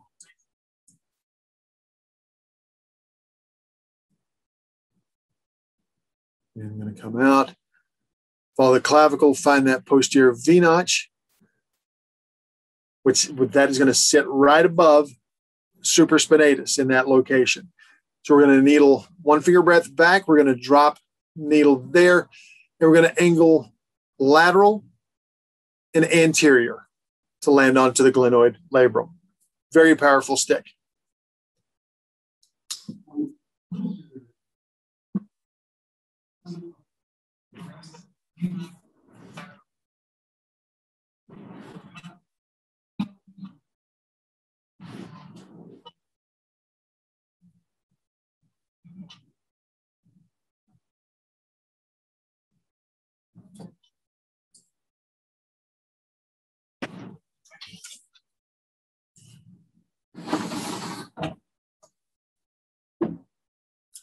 Again, acromial angle, one finger breath down, one finger breath medially.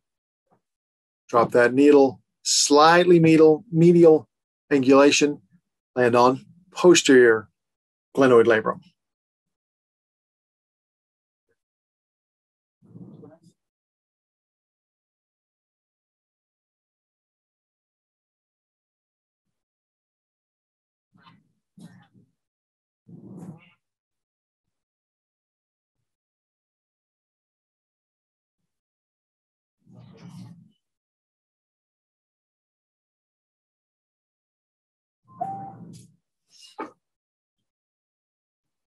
Okay, so I don't demonstrate the video here. The same as the coracobrachial bursa. Uh, again, that one finger breath down, needle anterior, posterior uh, to land on glenoid labrum. All right, let's move now uh, back to. All right, so our regional diagnosis protocols. Uh, here, uh, what we what we will see clinically is rarely we just have a dysfunction in one muscle or two muscles. Usually, it's a system of of problems that we're dealing with. Uh, the AC joint, probably one of the fewer issues we deal with uh, as far as complexity. It's usually an overuse uh, problem or, or, or, degenerative process because of trauma, um, similar with the SC joint. Uh, frequently, we deal with rotator cuff problems, whether it's pre surgical, occasionally it's post surgical. Uh, needling into the forearm muscles themselves can provide benefit. If we're dealing with tendonitis out at the attachment on the uh, greater tubercle, need to be able to needle into those as well. Uh, subdeltoid subac bursitis, the impingement syndrome, uh, really nice protocol for dealing with that there. Um, what I didn't include here was glenoid pain. Um, glenoid is one of those that can be an add-on to any of these. Uh, anything around the shoulder could have a labral component to it. So we add that uh, as an add-on. Um, intertubercular tenosynovitis, probably not that common, but do want to be able to identify it in that intertubercular groove so that we can needle that. And uh, I'll discuss it, uh, and we'll definitely uh, go over a demonstration of how to do that in our final lab. Um, then we'll look at the sick scapula or scapular dyskinesis, snapping scapula, wing scapula, uh, Sprengel's shoulders here. I decided not to include that. That's fairly complex uh, pediatric um, problem, and I don't know as dry needling would actually be that beneficial uh, given the, the nature of the condition. So for the AC joint, here um, are structures that we're going to be concerned with are the distal end of the clavicle, the acromion, the articular disc, and then the acromioclavicular ligament. We can be seated or prone. Seated is probably more preferable. Uh, very similar to what we did. Um, moved here to the first uh, slide here. Uh, our first structures are, are going to literally be just uh, that AC joint space. We'll hit the ligament, we'll hit the articular disc. Uh, that's always my go-to first. Uh, secondarily, if I'm not seeing uh, any any changes in what I want to do, then I'll hit the distal end of the clavicle and onto the acromion. Um, and lastly, I will hit subcutaneous acromial bursa. So we probably will hit it as we get on either side of, of the clavicle itself. The intention here is to needle uh, connective tissue from this ligament as they are moving further to attach uh, onto uh, either the clavicle or acromion. Uh, the tertiary here is be specific into the subacromial bursa. With that, we definitely want to do some uh, unidirectional tenting, some some bursal mobilization. We could do because of orientation out here. We could hit uh, the suprascapular and the lateral pectoral nerve, C5, C6, C6, and 7 of the brachial plexus. Um, and so there's a big uh, depth of, of how to do that. But we've already gone through the AC joint. So that is the, the challenge, uh, actually getting into that space and then throwing these add-ons on top if you're not getting the response that you need. Uh, more medial, and then these two lateral are the one if you're going to to needle into that bursa. Uh, I don't I don't think we have to look at that in 3D anatomy because we've already looked at that. For the rotator cuff itself, uh, again, we're going to target the four muscles of the rotator cuff. If there's a muscle imbalance, if there's a sprain, uh, if there's uh, a, an issue with with the muscle just not working right or excessive pain either in the superior posterior lateral anterior uh, this will let you deal with all of it rarely will i needle uh, just one muscle of the rotator cuff typically our primary location dealing with rotator cuff problem is going to be supra and infra uh, again we talked about how to needle into safely into the supraspinatus uh, and just a further a little bit further caudally into the infraspinatus to elicit the change in that muscle Secondary location, I would go ahead and hit subscap and teres minor. Subscap from a, a, hand behind back or the hammerlock position to land on the anterior surface, and then teres minor on the superior um, half to third of the lateral border of the scapula. Um, if there is a rotator cuff problem, better not work, forget about deltoid. Deltoid is going to be playing a role. Uh, so anterior, lateral, po- uh, posterior, anterior, posterior, or lateral. And because of its location onto uh, the uh, coracoid process, want to throw that short head of the biceps in there as well. Again, I mentioned that any sort of pain dysfunction in that shoulder could have a labral component. So if I needle these once and I don't get the response that I'm looking for, or I go through each of my uh, locations, then I may consider throwing the glenoid labrum on. That would also be dependent on uh, possibly a, uh, a grind test, uh, a clunk test, some sort of a test that tells me that there's something going on with that labrum. Uh, could also come back and hit uh, in the spinal segmental locations, C5, C6, C7. If you recognize those are our multifidus, our deep uh, muscles. Um, here we have spinalis capitis coming off, um, or spinalis cervicis coming off, and it's hidden. so those those could play a role as well. okay, for the the tendonitis or the tendon, tendinosis pieces that's frequently involved. So if we deal with this neuromuscular dysfunction in these muscles long enough, if it sits on, if it starts becoming more chronic, then we will start seeing um, uh, tendinosis out in the tendons themselves. They're not long tendons. The myotendinous junction is fairly quick, fairly narrow. Um, again, treatment approach, let's hit hit the muscles themselves first. Supra, infra, secondary teres minor, subscap. Lastly, we want to get very close into their tendinous attachments. And so if there is some uh, tendinosis, if there's some small uh, tearing uh, of these tendons, uh, they will be uh, tender. So a keynote uh, anterior to um, the long head of the biceps, that's where you'll find um, subscap.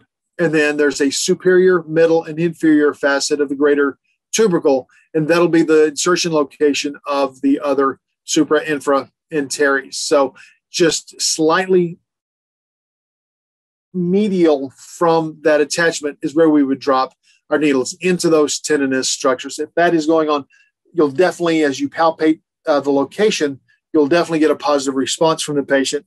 That would be a good indication tertiarily now to needle into those structures. Uh, again, we could come back C5, C6, C7 uh, to get that spinal segmental. Um, getting a change uh, in, in, the central system can also be helpful to what's uh, happening, what's functioning uh, uh, distally. We look at bicipital tendonitis, and here we'll, we'll discuss that in a, both a proximal and a distal or an origin and insertion approach. for the origin, first we want to hit the bicipital tendons. Uh, so for uh, short head, we're going to come right off the coracoid process. We want to needle into that. Let's elicit that that that change. Let's uh, facilitate uh, that um, that response. Uh, similar in the intertubercular groove, we want to hit the, the, long head. Uh, see if we can have a change there. in that case, we'll get to it in just a bit. we may want to look and see if we have more of a case of tenosynovitis in that area, in which case there's a different approach for that that we'll look at. Our secondary location for uh, uh, for this uh, at the origin is looking at the heads themselves. So we'll drop about three finger breadths distally, and before they become a common belly, we'll, we'll needle into each of the bellies of short head and long head. Finally, we'll needle into the, the belly of the, the biceps itself. So I've got the point here. As we've talked about a moment ago, we can differentiate biceps from brachialis by doing a, a, lateral to medial thread. In this case, you can do that lateral medial thread, or you can do anterior to posterior, landing on the humerus as your backdrop, but the biceps muscle belly. And then finally, we can look at our spinal segmental locations at C5, C6. Um, uh, for a periepidural location, we could look at needling for the musculocutaneous nerve. Uh, it's distal at uh, the, the break between biceps and the brachialis. Uh, we will cover that more when we get to uh, our next lecture, which is uh, advanced dry needling of the elbow. so that, that can be an add-on piece there. If we look at its insertion, here we'll look at um, the distal aspect. So primary location is just into the tendon itself. We'll, we'll go after that and we can needle straight into that tissue. If there are, uh, so our secondary location, again, we're going to go up the chain. Here we would look at the bicep belly itself. Again, we can do an anterior to posterior or lateral to medial approach. And then third, the, sh- the, the short and long head of the bicep. Let's differentiate those. Let's make sure we cover both of those to address any sort of neuromuscular dysfunction that's taking place there. Spinal segmental locations, again, we can look at C5, C6 to see if we can elicit a change there.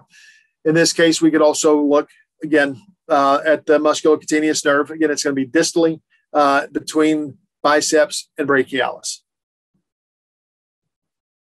For subdeltoid subacromial bursitis, or more commonly impingement, our primary location is going to be our subdeltoid and our subacromial bursa. So we went through the protocol for dropping off of the acromion down one uh, finger breadth and then lateral to medial for subacromial. For subdeltoid, we came out laterally a finger breadth and then dropped anterior, I'm sorry, superior to inferior to land on um, the subdeltoid bursa. Again, we get to lab, I'll demonstrate how to do this with a single needle stick. Uh, then we want to look at uh, the deltoid further laterally here. And then we want to get infraspinatus, the, those two main power um, muscles of, of that structure. Lastly, we want to catch uh, pec major, uh, biceps, short head, and coracobrachialis. All structures that are, if if they've got an excessive amount of muscle tone, are going to be compacting that uh, that head of the humerus into the glenoid, but also pulling it superiorly into the the acromion. Uh, was that in there? Yes, it was. Okay. And that's impingement. So intertubercular tenosynovitis. This is easier to demonstrate than it is to, to describe, uh, but, but we'll make our best effort. So here, what we're going to do is we're going to drop a, um, a primary location is going to be a, the synovial sheath between the tubercles. So what we're going to do is one thumb breadth um, above and below that sheath. Our secondary is we want to do the long head of the biceps. So our procedure is we're going to palpate between the greater lesser tubercle. Uh, we're going to use internal external rotation to define that of the shoulder. Uh, we're going to needle at the superiormost aspects that you can define the groove, and then we're going to go one finger breadth. Could be finger, could be thumb, between a finger and a thumb breadth distally. So these angles are going to be either perpendicular. What I really like to do is direct those needles slightly toward each other. And what we're going to do is we're going to use some unidirectional rotation. We're going to tent those uh, two needles, and then we're going to rock those needles back and forth. So we're basically going to floss that tendon through that synovium. Goal is to one elicit the uh, the, the, the the response to to heal that area, get some some, some good changes there. But two, if we can physically move that tendon inside the synovium, then we could make that change that we're looking for there. Finally, let's look at our um, scapular um, problems. Here, I do want to jump over to our, our complete anatomy to look at that. So, with our scapular problems, on all three, most of the same muscles are involved. It just comes down to what order you want to have your primary treatment. So, the muscle, the stabilizing and moving muscles of the scapula, as you can tell, rhomboid major, minor, levator, serratus anterior, pec minor, uh, short head of biceps, coracobrachialis, um, teres major minor. Don't know if I said those. And then also the traps. Uh, so all of these muscles play an important role in, in stabilization of the scapula. In these next three protocols, uh, we'll, we'll isolate what to do first, what to do second, and what to do third. But all of these structures are going to be the important things to focus on. All right. So for sick scapula, sick means, uh, see, it was originally termed by Burkhart, uh, scapular malpositioning, inferior medial border prominence, coracoid pain and malposition, and dyskinesis of scapular movement. And basically, yes, it's an overuse syndrome. So what, what we want to start with um, with that. Ah, it's doing this thing. I'm going to try to get back to this. It's a programming issue I didn't change. So in order, pec minor. Uh, all right, you're going to bear with me here.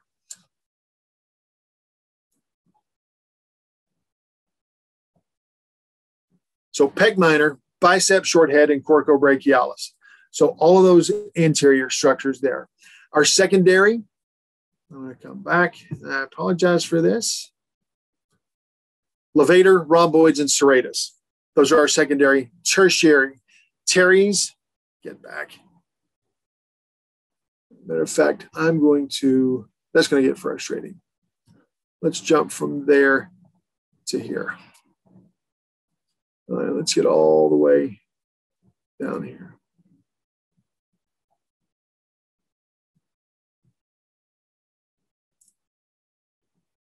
Okay, so uh, pec minor, bi- uh, short head of biceps, and then coracobrachialis, uh, because they, they have all of that anterior, inferior pull. Okay, our second uh, is levator, um, rhomboids, and serratus anterior.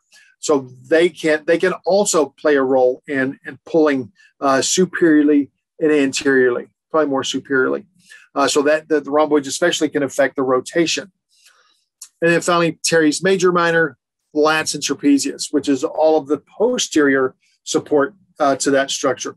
So needling in that that um, sequence uh, is the approach for the sick scapular, scapular dyskinesis.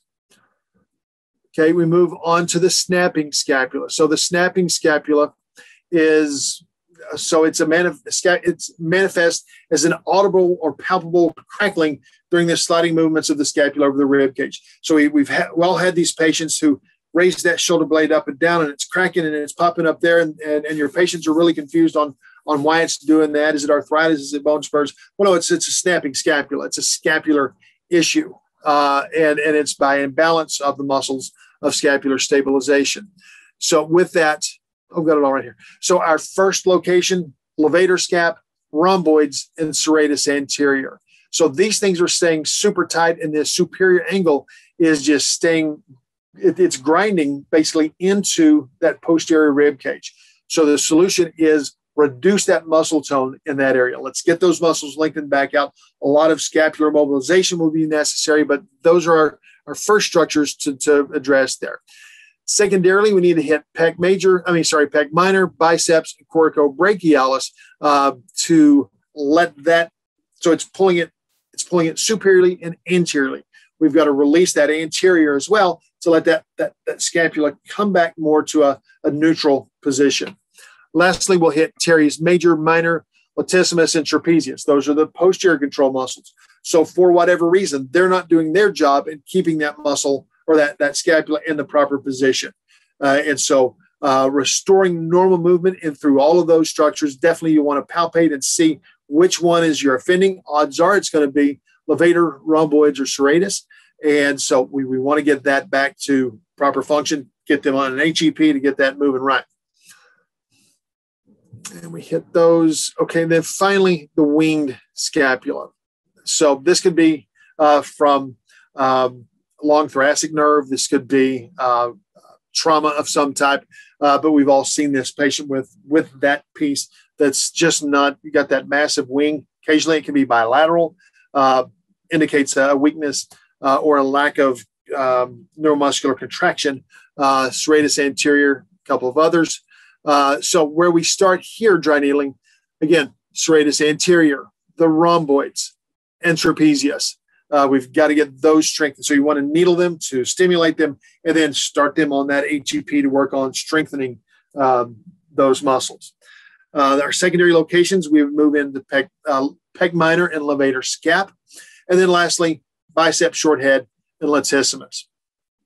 So that is the sequence for dealing with um, the wing scapula, odds are you're going to see results dealing with uh, just the primary locations.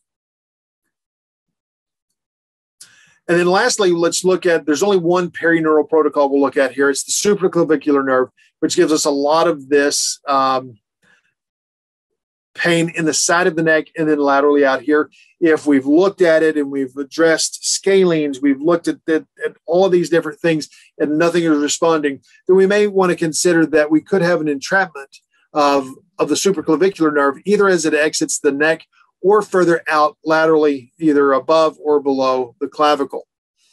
Um, let's see here. So here, uh, if I got, I do have all right. So our primary uh, neural locations, we're going to gonna come into the lateral third of the of the upper trapezius. Um, so right out here, we're then going to move into the in, inferior of the clavicle and the anterior deltoid, and then we'll move further medially inferior to the clavicle at the clavicular portion of pec major. So here, from a muscular standpoint, we're going to hit the distal, the more lateral um, pieces of that supraclavicular nerve. Again, superficial 1.5 centimeters is more than enough. Um, secondarily, we'll look at splenius cervicis, splenius capitis. So although our issue is here, we know that's happening because of that muscle tension, that tightness, or that shortening of those muscles. So you'll recognize these as our as our C6 and as our T4, dropping deep into the multifidus, catching uh, splenius cervicis as we're coming here, and then capitis or capitis, and then cervicis as we run down to T4. So that's our secondary. Uh, for our spinal segmental locations, we could look at C3, C4. Uh, let me see if I've got that pulled up here in my library. Uh, I do not. So that picture will will suffice us there. So that takes us through our, our muscular pieces, pieces that aren't directly related to the shoulder, that anterior torso, that cervical thoracic junction, anterior posterior muscles, which are the muscles of scapular control. Then we looked at the muscles of the, the shoulder itself, the deltoid, supraspinatus, infraspinatus, teres major, uh, sorry, teres minor, subscap. We included teres major in for the rotator uh, shoulder itself, although not part of the rotator. Then we looked at the ligamentous structures, both ligaments in and around the shoulder. And well, before I do that, we also looked at the muscles of the forearm. Have to consider the muscles of the forearm if we're going to consider the shoulder. Likewise, we didn't talk about the cervical spine. We have to look at the cervical spine, the CT junction, the, the articular components themselves if we're going to address the shoulder. Um, tendons and ligaments, we looked at lots of tendons in and around the shoulder. We looked at a lot of bursa. Uh, bursa in the shoulder frequently inflamed with movement because of the amount of movement we see there. And then lastly, we looked at the, the perineural protocol, the main one that's really associated with that upper extremity, uh, with, with the shoulder itself. So we, we move from there. Um, next thing, let me get all the way past here. And then we finally get to what we've all been waiting for is our post lecture assignment. So I'm making it super easy here. Uh, for your post lecture assignment, if a patient presents with anterior shoulder pain, what are six potential structures that could be involved and that might benefit? Bring that back up. And it might benefit from dry needling. Uh, six is a lot, and um, it could be anything. I want you to just think of six of them that could be. Uh, just let me know. Again, we're going to go easy here. For our next assignment, uh, next assignment, our next lecture is going to be on July 26th. Uh, that's a Monday, 6 p.m. Central Standard Time. Uh, there is a lot more uh, content as relates to relates to uh, the nerves, uh, the perineural protocols, uh, and the elbow. So review the information from tonight's lecture. post your response in the, the the dry needling arena, and if you have questions, feel free to yell. Otherwise, we will see you on 726 for lecture number nine. So lecture number nine starts the back half. You're halfway finished. We're on the downhill swing. All right. Any questions? Email me, send me a message.